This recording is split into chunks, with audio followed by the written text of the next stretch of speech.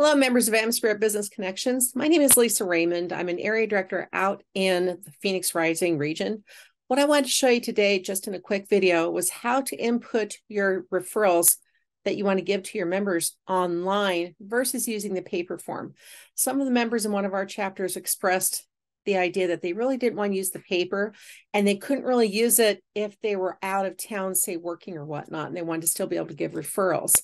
So I'll show you an easy way where we can go online on the website and make a referral happen. Okay. What you'll do is you'll come to amspirit.com and go to the members only area and then log in. once you log in into the member area, you'll come down to under members only to the chapter referral input. From here, you'll see that there's referrals going on. If you're the member, it'll show you how many you've given or received. You should see numbers here. What we're going to do today is add a referral. So I'm going to click this link here that says add referral on the left. And now this looks a little bit like the paper referral that you're used to seeing. You can make sure that you have your chapter selected. So I'm going to keep my home chapter here.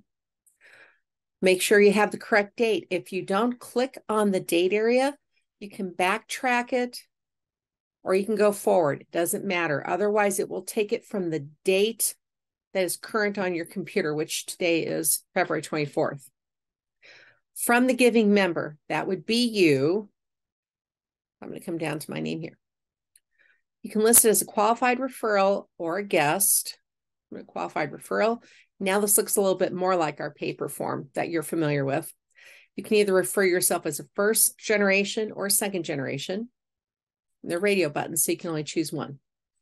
You can do this within your home chapter to one of your members, or if it's a cross chapter uh, from a, a chapter outside of your own. And again, radio button, so you can only select one. If you do select the cross chapter, you will be asked which chapter. So that way that chapter can get credit. Who is this going to? Which member? So if it's in your home chapter, then you would select the member in your chapter. If it's a cross chapter, then you have to find the chapter choose Arlington and then select one of the members. And I'm just going to pick on Dean because I know him. After that, you can click save and add another.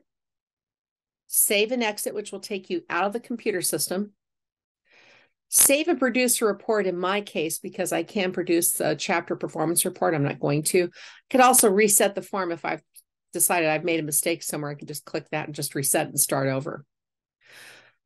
Stop the share and thank you so much for joining me today. I hope this is helpful for you. If you have any questions, please reach out to your area director or to Teresa at assistant at amspirit.com.